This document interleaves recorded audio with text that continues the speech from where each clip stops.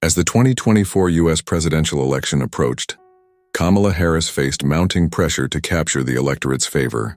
Despite drawing immense crowds at rallies, her campaign centered on framing Donald Trump as a threat to democracy, ultimately misreading the electorate's urgent desires for tangible solutions.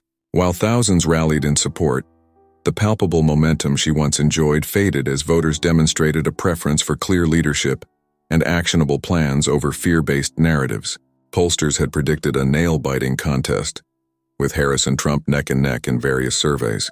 Yet election night revealed a startling divergence from these expectations, as Trump's unexpected surge led to sweeping victories not only in pivotal swing states, but also in the popular vote.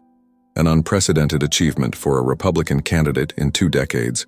Harris, buoyed initially by record fundraising and fervent support after Biden's exit, could not leverage this momentum into a winning strategy as the tide turned drastically against her campaign's narrative. Exit polls painted a stark picture. Voters prioritized issues like the economy and immigration, topics that Harris largely neglected in favor of highlighting Trump's instability.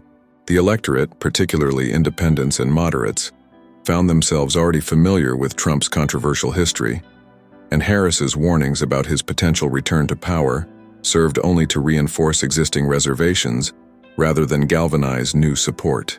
Instead of sparking fear, voters craved inspiration and direction, qualities that Trump, in his brash and polarizing manner, was able to harness effectively.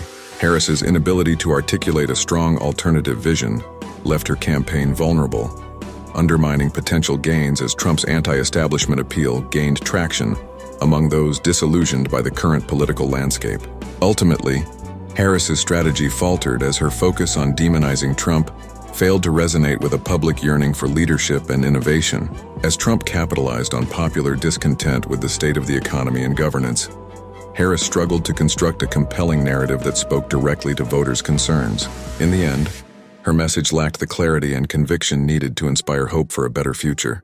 Her campaign's failure to pivot from fear-mongering to visionary leadership resulted in a crushing blow not only for her candidacy, but also for the Democratic Party's aspirations, marking a pivotal moment in the ongoing saga of American politics.